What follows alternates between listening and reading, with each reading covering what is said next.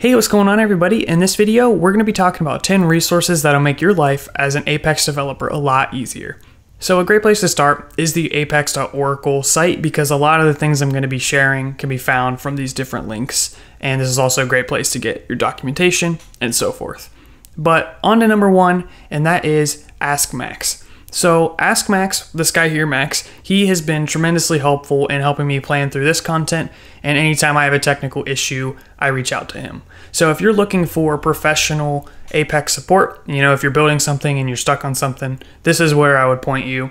And in fact, he's given up a lot of his time to answer over a thousand questions on apex.world, which is a community that's actually our second resource. Apex.world is actually a community where you can ask questions, see what's new with Apex, and meet other Apex developers. There's also stuff for jobs, and if you're if you need a job posting or you're looking for jobs, you can do that here.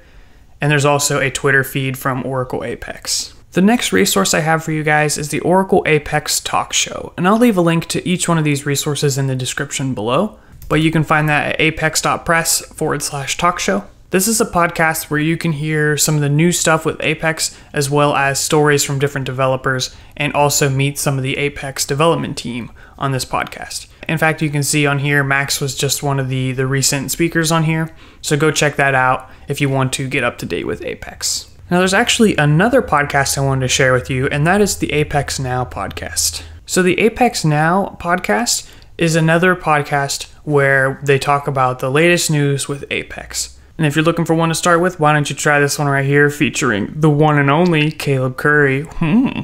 So far, I've talked about four different ways you can get help with Apex. The first was professionally with AskMax, then we talked about the Apex World community, and then we talked about two different podcasts. But you might be someone who prefers documentation. So, yes, you can go from here and find the documentation in the Learn section. But another great thing is you can actually use a short link to always get the documentation you're looking for. So if you go to apex.oracle.com slash doc and then put the version 19.1, no dots, and then press enter, that'll take you to this exact version of the documentation. And that is the next resource for you guys. Next, if you need a little bit more substance on designing your Apex applications, you would check out the documentation for the universal theme. And there is also a short link for that, so you would go to apex.oracle.com forward slash universal theme.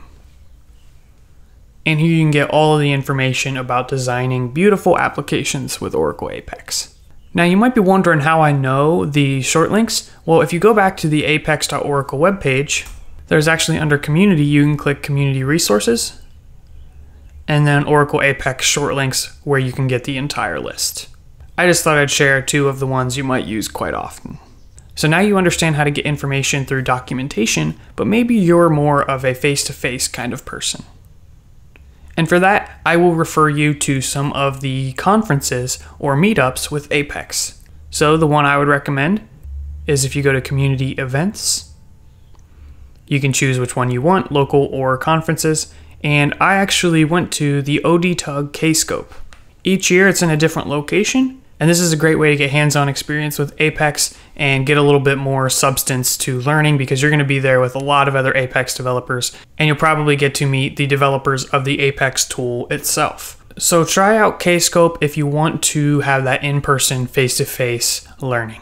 Right now it's linked to Kscope 19, but I think for next year you would just go to kscope20.odtug.com and you can see it's in Boston. So this is a very fun conference and I would highly recommend it. Next thing I wanted to share with you guys is the Apex curriculum. So if you're on the apex.oracle site, what you can do is go to learn, and then I think under education. And then scrolling through this, you can see all different types of learning. One that I would recommend here for you though is the application development curriculum.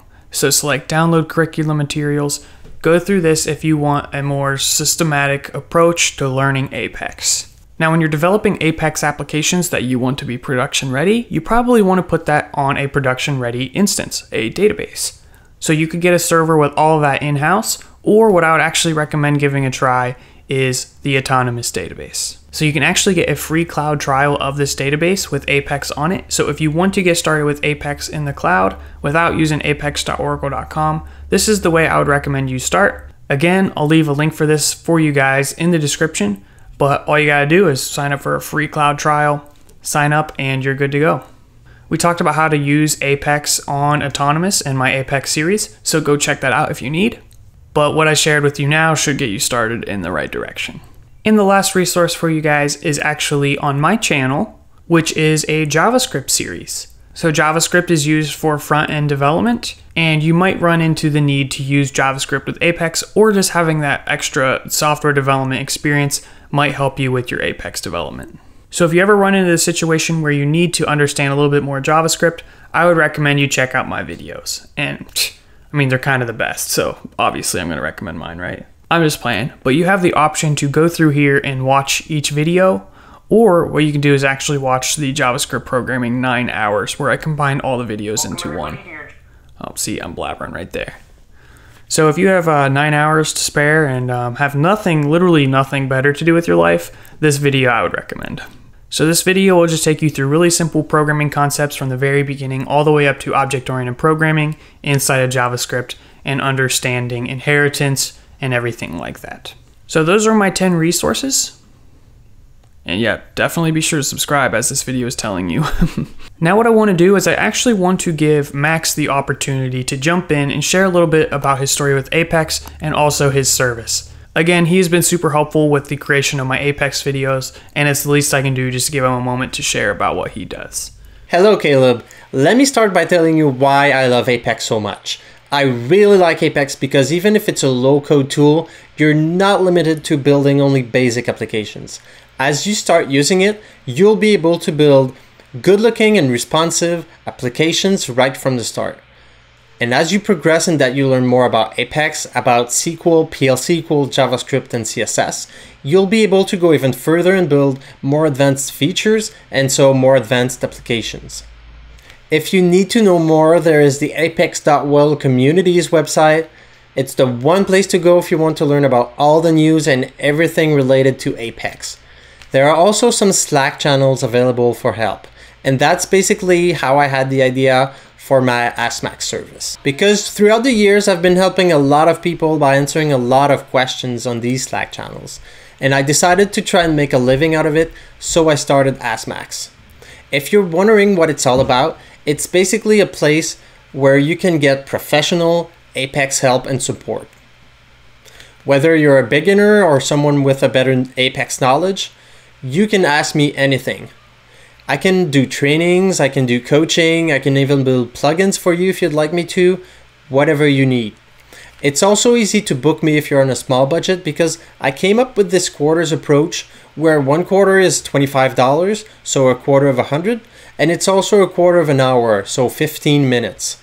And the best thing about it is that by simply registering, you'll get one free quarter to try it out. So whether it's for a simple question or for something more complex, or that you want to learn how to build applications such as mine, I can help you out. You can ask me anything.